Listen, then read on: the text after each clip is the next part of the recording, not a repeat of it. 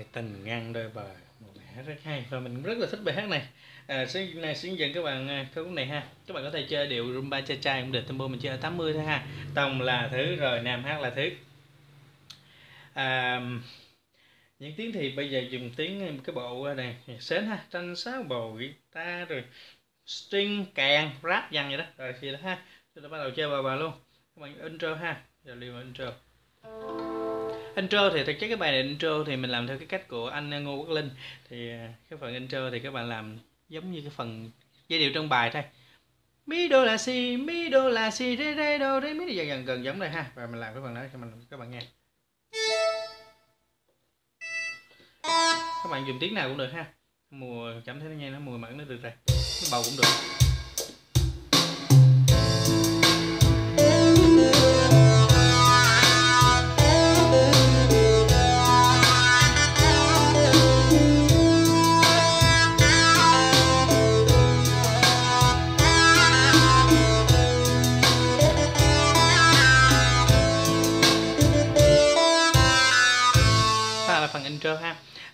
Nhất là nó, mình có sửa đổi một chút xíu ở cái phần intro của bài nguyên bản nguyên bản gốc. Thì tất cả là giúp cho các bạn dễ hơn thôi, ha. Cho nó trùng khớp với trong bài luôn. Còn cái phần nguyên gốc thì mi mí đô là si thì mình cho cái nút si nằm ngay phép mạnh. Nhưng mà từ các bạn gốc là nó như thế này các bạn.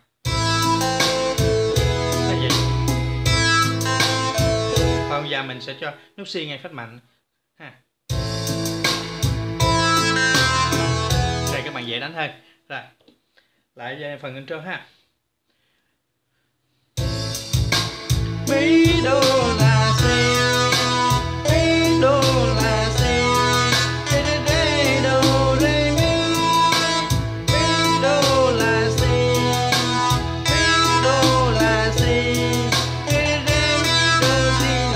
dàn.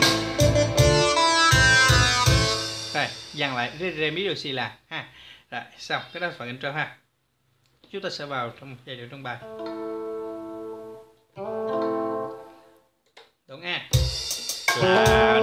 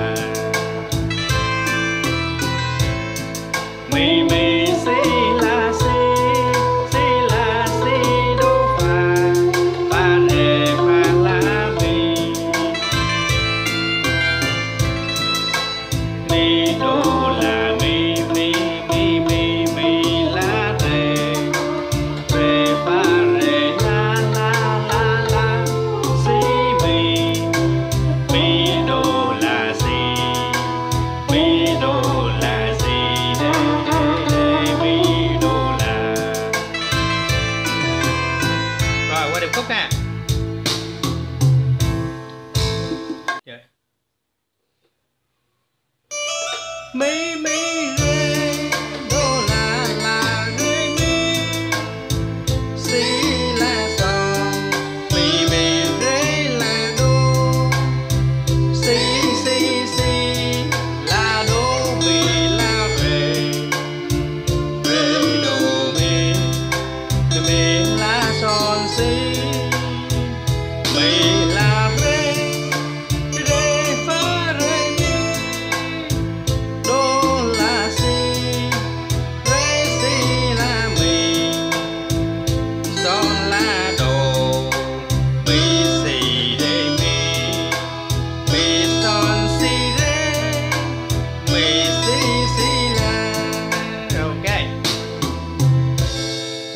cái phần.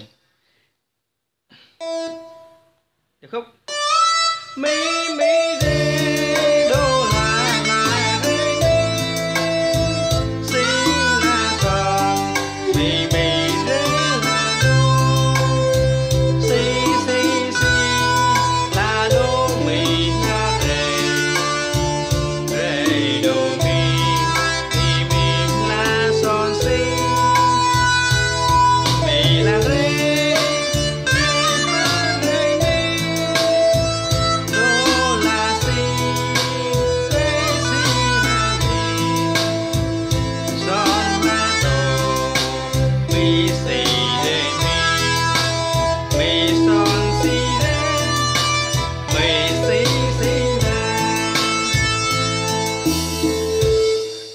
phần đó là phần điệp khúc ha. À, cái mình nói theo các bạn thì chứ những bài nhạc à, sến như thế này thì cháu có một lời nó sẽ thể liếng rất là nhiều nốt cho nên đậm tài những cái nốt của mình là chỉ mang tính là chất là à, nút sườn thôi chứ nó không hoàn toàn chính xác như như, như cái bản gốc tức là mỗi ca sĩ nó có một một người có cái sự lái khác nhau cho nên là nó sẽ cái ra điệu nó liếng liếng cũng khác khác nhau ha ví dụ cái cách những cái nốt ví dụ si hoặc đô à ví dụ cái câu những cái nốt ví dụ như là mi si si la mi đô đô la. Thì chứ các bạn đầy những cái vị trí nốt đó đó có thể nó khác đi một tí xíu không sao các bạn ha. Rồi bây giờ chúng ta sẽ đi vào phần điểm hát nè áp dụng tất cả những gì mình đã học áp dụng bài. Và những bài này các bạn chú ý chúng ta không nên lót câu nhiều. Có nghĩa là cuối câu chúng ta à, lót một hai câu một hai nốt giống hoặc là ná giống. Như vậy là được rồi. Quan trọng là thay đổi tiếng cho nó hay hay tí xíu. Sử dụng bên, kết hợp của âm cho đúng là ra có giá trị. Bài hát rất là hay rồi. Không nên lót câu nhiều sẽ mất đi giá trị bài hát ha. Rồi, cuối đoạn chúng ta dằn một hai cái thôi. Rồi, đơn giản thôi rồi mình làm thử ha. Học rồi, hết rồi các bạn. Bây giờ chúng ta áp dụng thôi. Làng buồn nhìn dòng sông.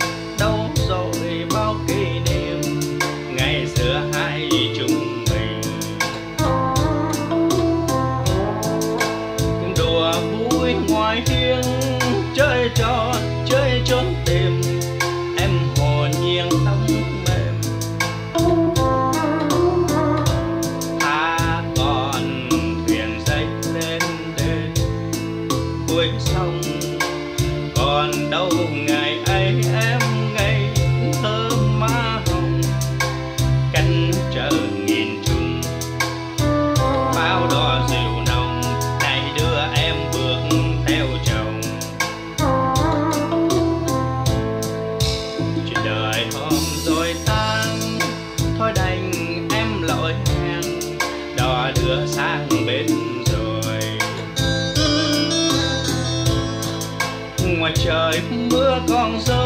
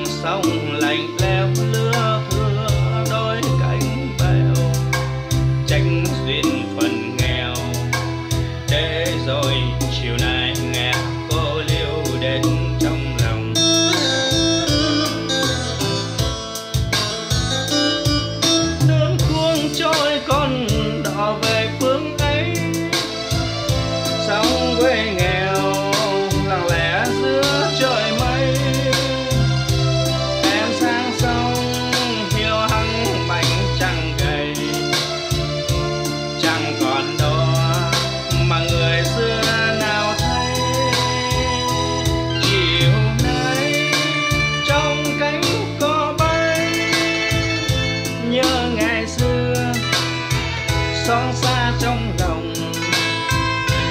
Em lấy chồng, cạnh một dòng sông. Đò ngang không có tình ngăn đôi bờ. Em lấy chồng cách một dòng sông.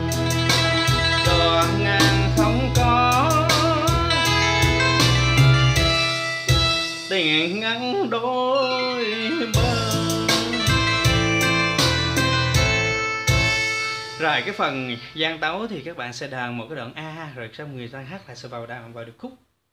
Ừ, rồi sau kết out thì à, chúng ta sẽ làm phần intro ha. Mi đô la si mi đô không thôi các bạn kết ao hát nhỏ nhỏ dần cũng được. Em lấy chồng cánh bồn dòng sông. Đồ ngàn không có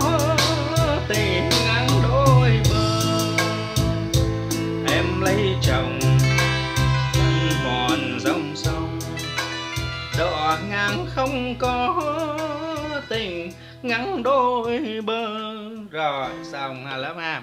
Rồi. kết thúc bài tình ngắn đôi bờ tới đây. Rất là dễ, rất là hay.